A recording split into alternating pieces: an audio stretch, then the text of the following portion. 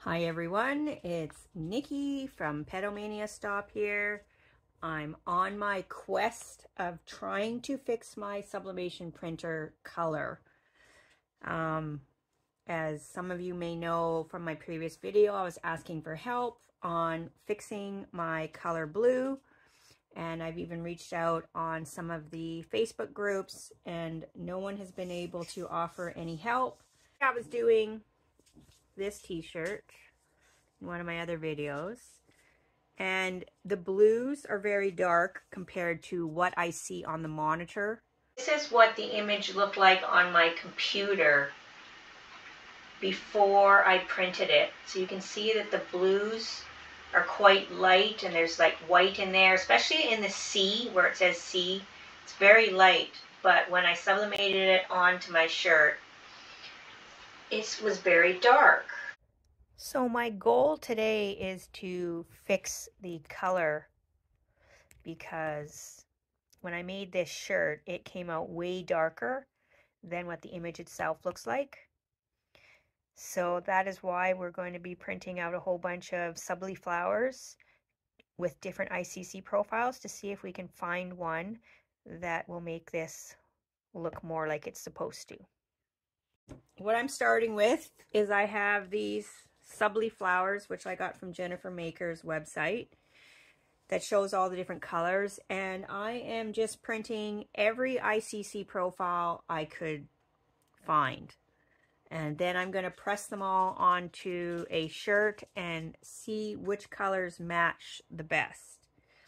Now, the very first one was just the one that was on my Epson, and it was just already there in my profile, so I thought I would try it. And I can tell already that this one is quite dark on all the shades. So I'm not even sure I'll press this one. We'll see how much space I have left on my shirt. Um, then I have I had a second Epson one on my, and you can see that it's quite different from the other one. There's a lot of different shades here. Like this blue here is a lot lighter. And, you know, the petals are just, they range in different colors. Like even right here, this is more green than that. And of course, don't forget, this hasn't been sublimated yet, so the colors are going to change. This is just from the printed lighter pattern that happens when we first print them out.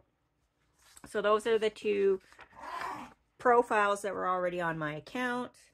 Then I found this one here from, it came up in my settings as EP4 Mac. So I don't know if that was supposed to be for a Mac and I'm using Windows. Um, if I compare it to that original Epson one, again, you can really see the difference in the blues, especially like right here to here, like those are really different. Um, and then my, the ones that I've been using, like the one that I used for the t-shirt that I just showed you was one of these two. And basically Ink Owl and Ink Pot are both, to me, they look identical. So these two profiles that I, ICC profiles, everything looks the same. So I think these two are basically the same profile.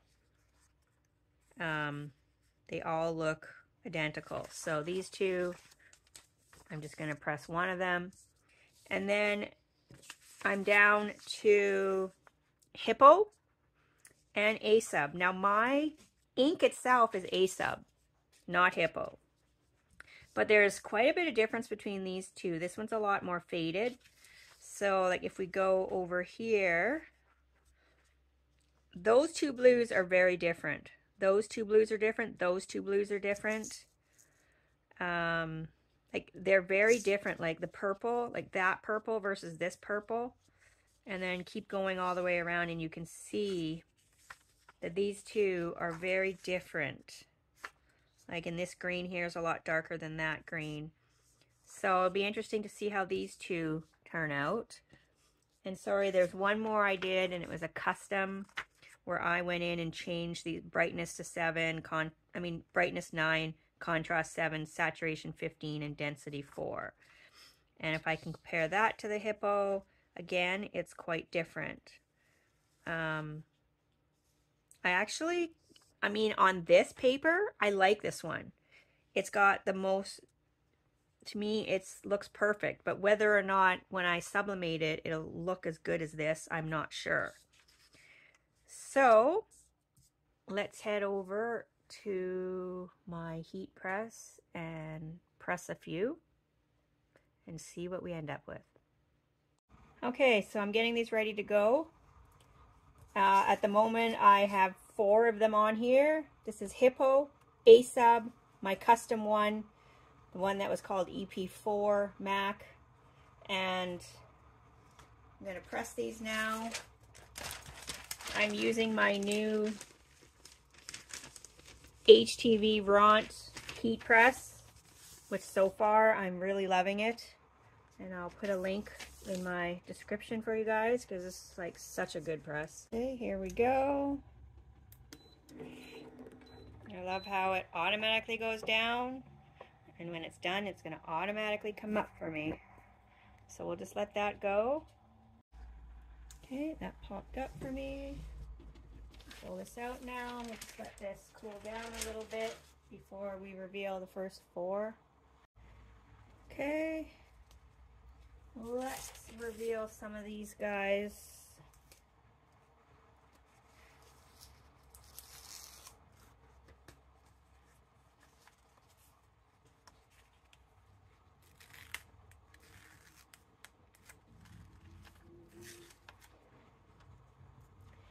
Okay, this one was the EP4. This one was the ASUB. Let me peel them all off first. And we can look at them a little bit better.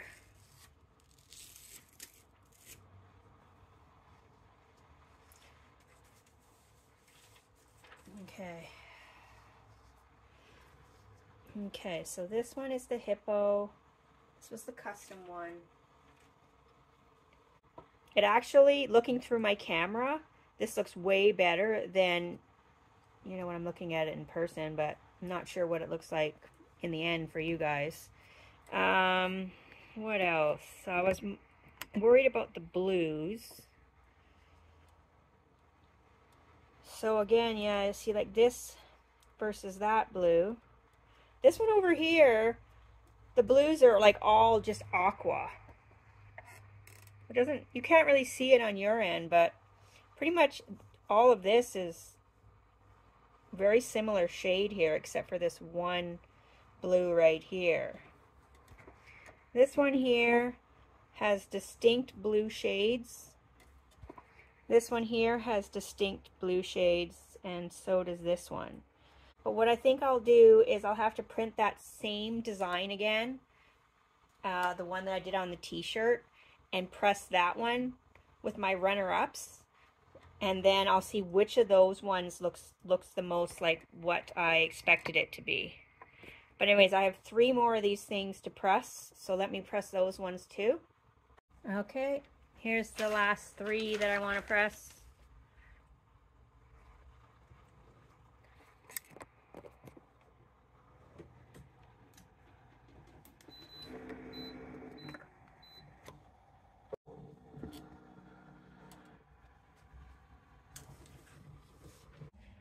Okay, let's reveal the last three now.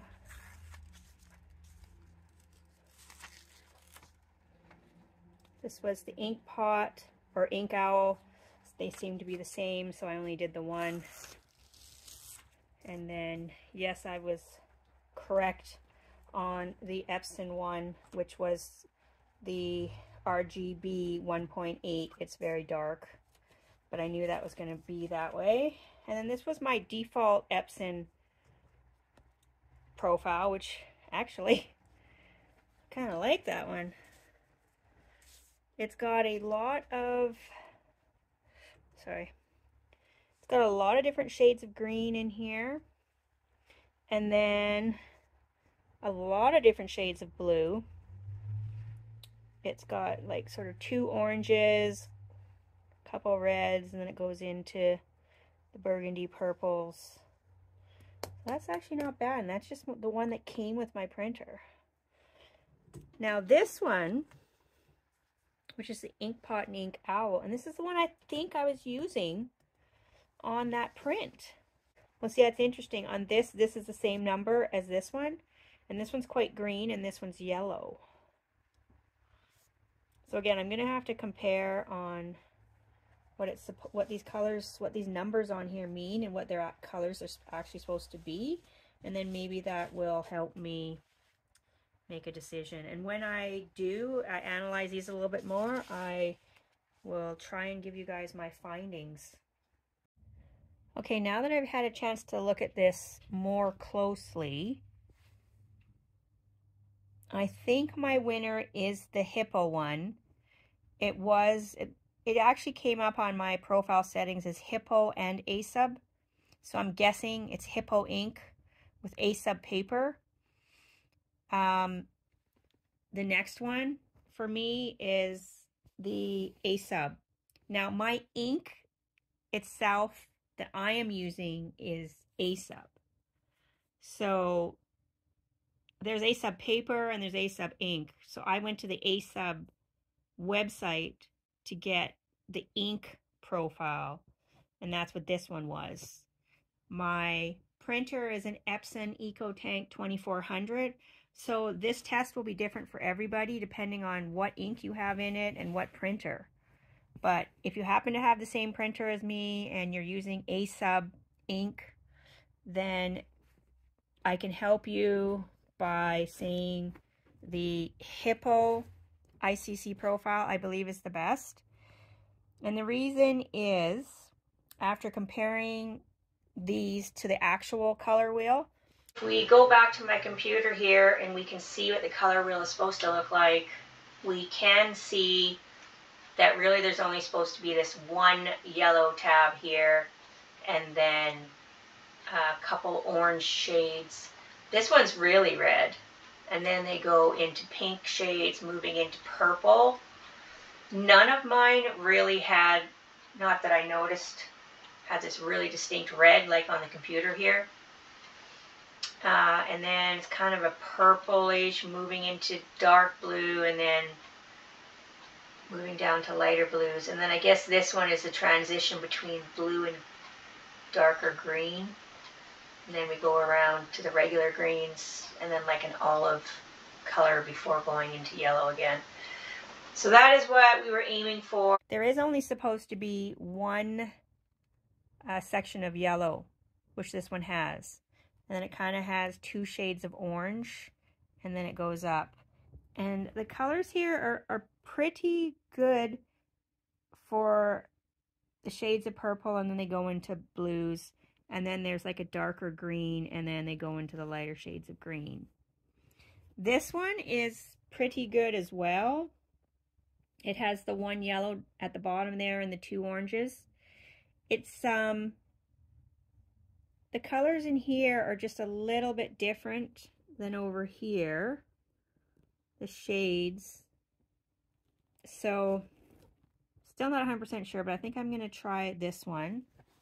I noticed on the custom one, even though it looks good on here, it has these two yellow ones side by side, and it's not supposed to have, they're not supposed to be two, two yellow ones like that. Also, these shades here are very close together. Or, well, actually, no, they're not. They're different. I think I'm, re I'm referring to the next one. Um, but the fact that there's the two yellows when there should only be the one, I think the other one's supposed to be part of the green section. I'm going to rule out the custom one that I did. And this one,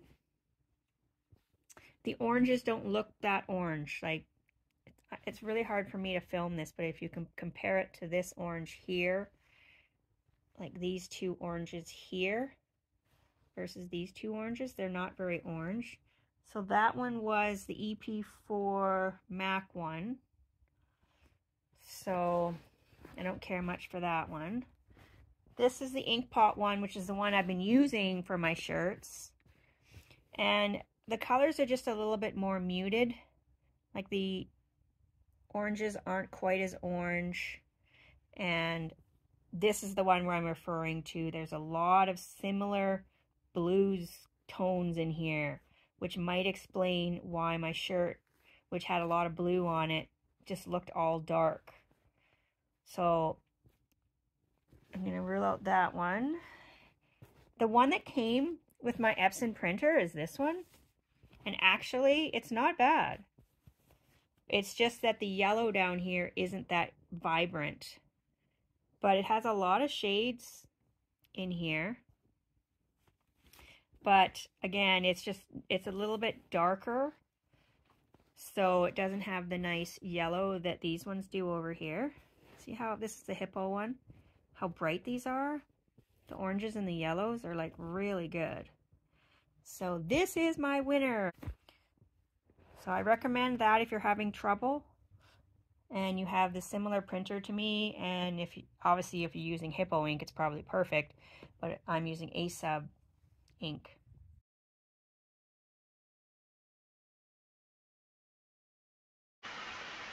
So basically, the problem that I was asking was that I was downloading new ICC profiles and they were not showing up in my list here. And so I was trying to get advice on how can I get them to show up because I looked online for ICC profiles and how to move them into your Windows system drivers color folder. The only problem was is that the last few that I did, my computer was just upgraded to Windows 11. And so even though I was doing that, they weren't, they still weren't showing up. No, no matter how many times I reset my, or restarted my computer or open and closed Adobe, they just were not showing up. So I was getting really frustrated. Um, whereas before, all the other ones just showed up automatically and I really didn't have to do much. So I did some research today and uh, for Windows 10 and found out I needed to go into um, just on my computer in the display settings into the actual display settings there like in your monitor display settings and go into the color management tab. And in there I think it was an advanced or something I could manually add these extra ICC profiles that I'd been downloading. And then now they show up in here so that I was able to now print these new ones out so I can test them.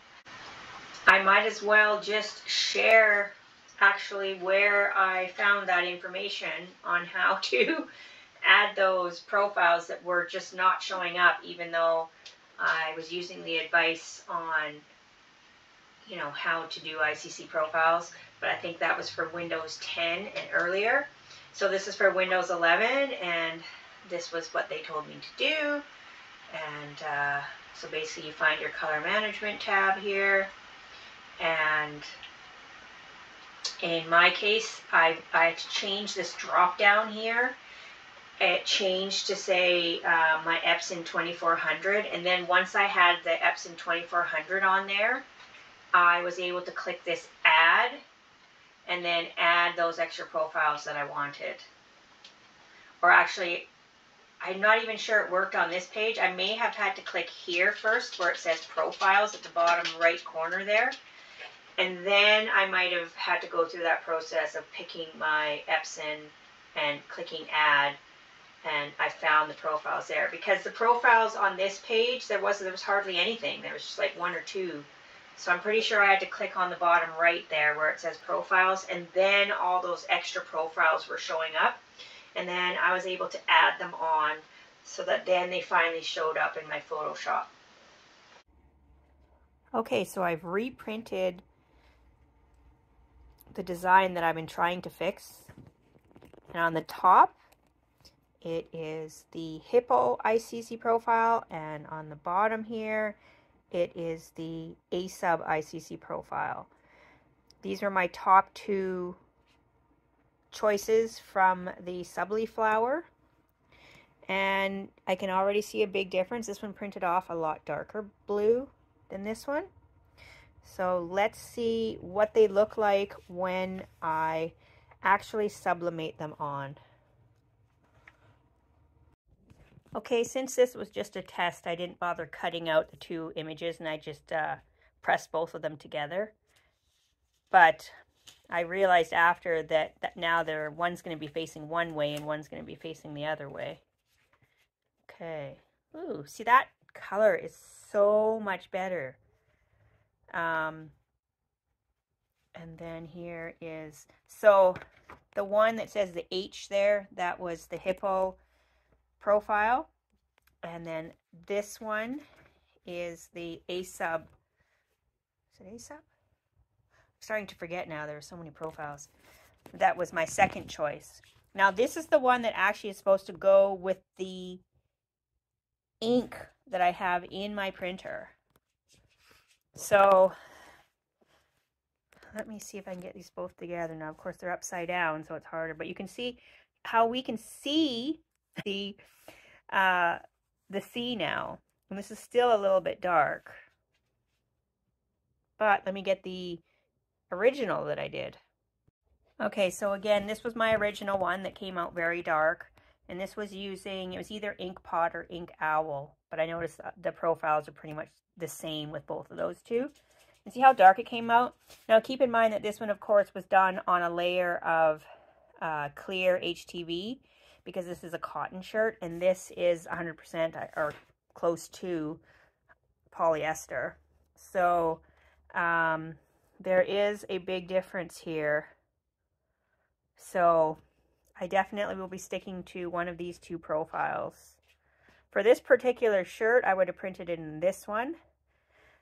But in other things, I may prefer this one. It just depends.